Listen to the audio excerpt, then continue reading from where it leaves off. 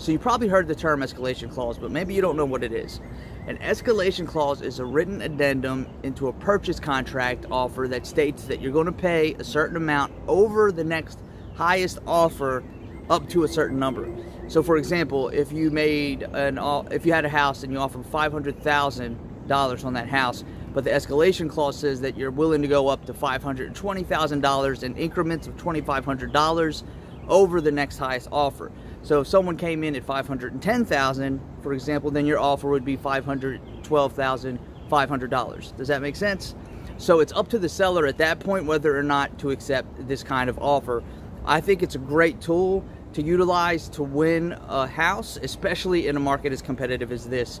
In this market, when almost every deal ends up in a buyer brawl, you have to use every tool you can and get creative in introduce and, and introduce new methods to help your clients with an offer and help them win their new home. So there are downsides or negatives to the escalation clause. Uh, first off, it does lay all your cards on the table. So you're pretty much telling the seller, this is how high I can go.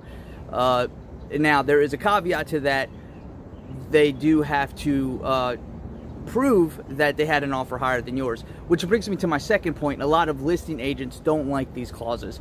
Part of the clause, again, is proving that you uh, that, that they actually have an offer higher than yours. And it, it does, so it makes it hard for the listing agent to get the highest price possible because instead of you coming in immediately at 20 grand over asking, you're only offering uh, incremental amounts of uh, up to a certain amount. Instead of going all the way to 20 grand, you're doing increments up to 20 grand. So it makes it a lot harder for them to get an outrageous price for their house. So a lot of listing agents, uh, well, not a lot, but a few, very few actually, uh, don't like these. But overall, it's a great tool uh, that your agent should be sharing with you if they're not already.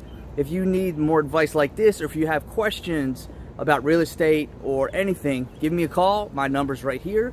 Uh, I'm happy to help you out. Talk to you soon.